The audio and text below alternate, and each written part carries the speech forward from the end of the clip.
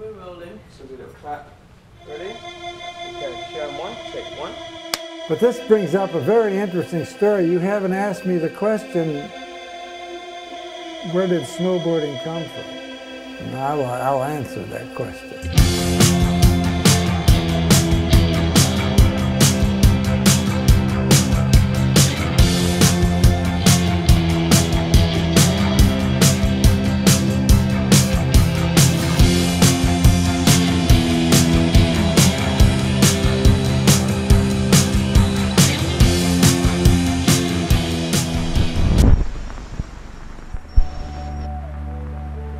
December 25th, 1965.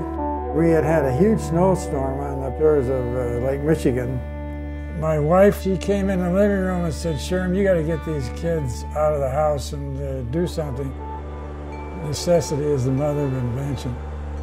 I looked over and I saw my oldest daughter, Wendy's little 32 inch skis from Kmart. So I put these two little skis together and braced them. Well, I packed him up, we went outside, and it was all during this episode.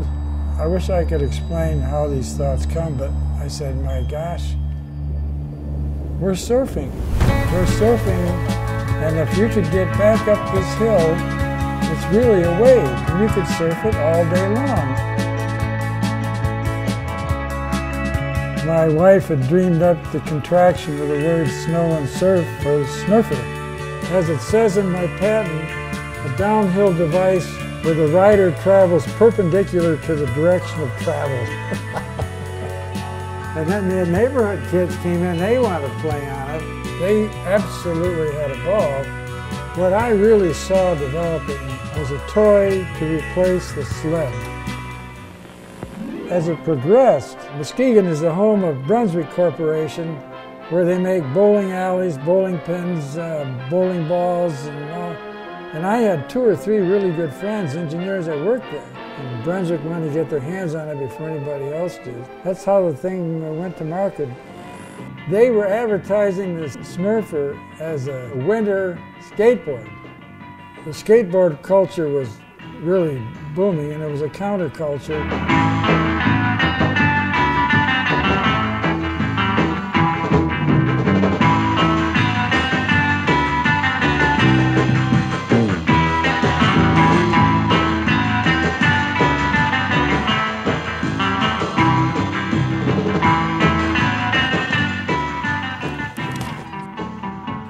1968 when we got our first Snurfer. So we were 10.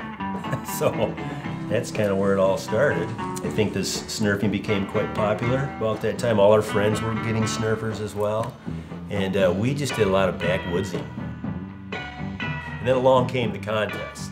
Snurfing is adaptable to all age groups for play or for sport. All these people in the national contest purchased their snurfers from retail stores in their hometown. Then they carried them home to practice on hills and slopes. And soon they were ready for competition. Get on, get on! the hill was a challenge. Very few people made it to the bottom. You made it, you probably won. Yeah.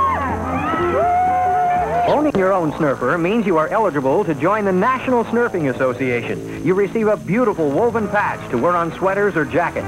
Nobody really had any type of a surfboard for the snow until Sherman Poppen invented Snurfer. That was the start, and it went from snurfing contest to snow surfing contest to snowboarding. That changed the game.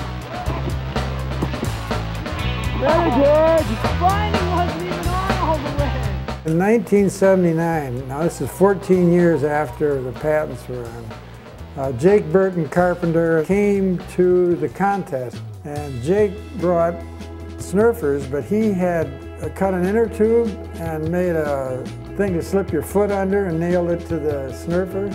So in effect, he had a little binding. Well, that was pretty important. A company called uh, Brunswick Corporation used to make something called a Snurfer a long time ago, and I rode those for about the last 10 years, and nobody really improved it. And living back east and just sort of getting flustered with that particular board, just decided to start making something on my own. Front foot goes in this binding right here, and then your back foot tucks underneath this back binding. Uh, it's a real good sport. I hope everybody gets into it because it's pretty safe, it's a lot of fun, there's a lot of speed, and you can definitely surf the snow.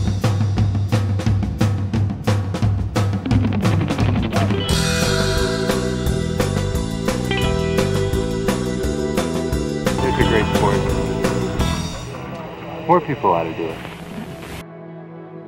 I'll tell you, if anybody deserves credit for the whole industry other than my little board, it's Jake Burton Carpenter. He, he saw the future uh, that, that I didn't see. It's become a commodity now, but still, I think there's a lot of people riding who are riding because of that feeling and that emotion. Any rider today will tell you that a snowboard and powder is about one of the greatest experiences you could have. Well, it was the same on the Snurfer.